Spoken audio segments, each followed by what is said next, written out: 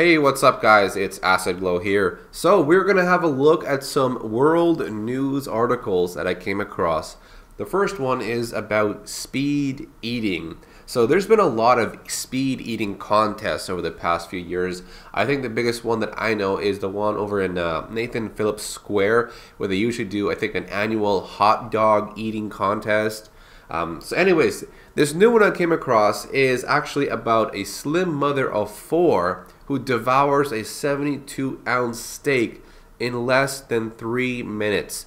So she actually breaks the world record, which used to be 6 minutes and 48 seconds. And that record was supposedly held by a huge bodybuilding man. Now, when you look at the size of the steak, this thing is really huge. Like, it's bigger than your stomach. So it makes you wonder how can you take in all of that food? But anyways, I will link you guys to the video showing the speed eating record for the 72 ounce steak.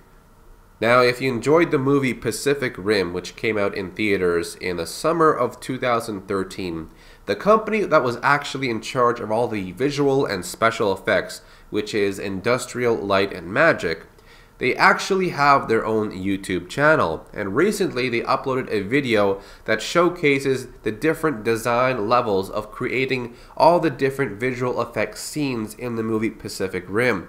So check it out if you want to see how they actually construct all the different scenes in that movie.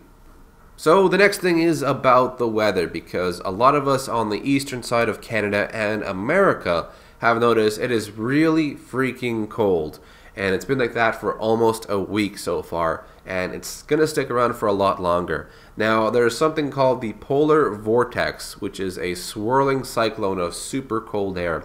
Now this is supposed to be hovering around the northern eastern side of Canada, right above there.